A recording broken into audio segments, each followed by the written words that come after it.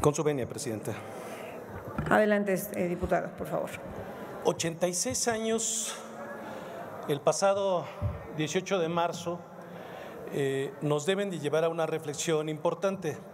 Si bien es cierto, eh, podríamos empezar con señalar lo que dio origen a esta expropiación, que fue particularmente la inequidad, la injusticia con la que se distribuía o redistribuía la riqueza que generaba el subsuelo en nuestro país y que tenía en su posesión eh, industrias de otros países, particularmente Estados Unidos, Inglaterra y Holanda en menor proporción, pero que de alguna manera la riqueza generada no era distribuida o no se veía reflejada en el trajinar de nuestra nación en aquellos años.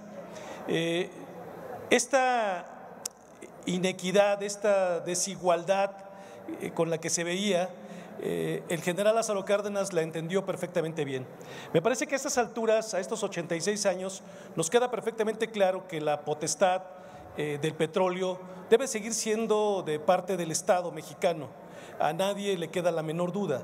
Esta acción que nos trajo consecuencias, primero en un periodo casi particularmente de 20 años de lucha incesante en la cual las empresas particulares explotadoras del petróleo en México llevaron amparos, eh, intercedieron recursos para detener las concesiones incluso derivadas del porfiriato y que de alguna manera en, en 20 años, el 18 de marzo, culminaron con la expropiación petrolera, cosa que no terminó ahí, porque hay que decir que la indemnización particularmente trajo como consecuencia establecer mecanismos eh, de captación de recursos para indemnizar a las propias empresas extranjeras. Entonces, particularmente este acontecimiento debería de situarnos en una reflexión más actual eh, con los elementos que hoy el mundo nos da. Yo decía hace un momento, la rectoría debe de seguir en manos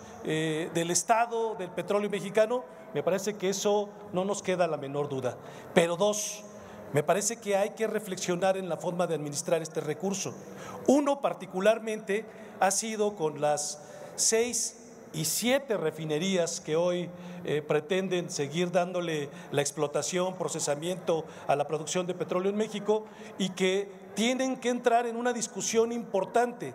Por un lado tenemos compromisos que nos llevan a la eliminación eh, de los combustibles fósiles y por otro eh, estamos motivando el uso incesante de estos combustibles. Entonces, la discusión está ahí en puerta. Esta expropiación nos debe de decir la forma, nos debe de recordar que no solamente es hacer uso del recurso, sino también la forma en que lo administramos. Entonces, tenemos que partir con la idea de que habrá que eh, meterle ahí eh, una combinación de energías limpias que disminuyan la producción, el procesamiento de algunas refinerías, principalmente las que más contaminan y que ya se han señalado innumerables veces, como son Cadereyta o la misma de Tula, que es una de las que más producen. Hay otras que no lo hacen. Entonces, en este sentido, la discusión está abierta a poder determinar cuál será la administración del petróleo en nuestro país y que deba de abrirse el debate de la forma y los mecanismos por los cuales tenga que ser. Y tercero y último, me parece importante que si este razonamiento nos lleva a deliberar formas alternativas de hacernos llegar recursos eh, con energías limpias y administrar de una manera más reservada el petróleo, podríamos entonces también entrarle a determinar la forma en que los ingresos del petróleo abonan o no a este origen de la expropiación petrolera, que era la desigualdad con la que se distribuía la riqueza del petróleo. El petróleo actualmente nos está generando riqueza la forma en que se administra, nos está dando mayores recursos de, apalancar al país al desarrollo. Me parece que son preguntas que habría que ponerlas en la mesa de la discusión y establecer formas de... Eh, cómo vamos a cargar impuestos tanto en la ley de ingresos y cómo vamos a distribuir el presupuesto para poder tratar este recurso que me parece...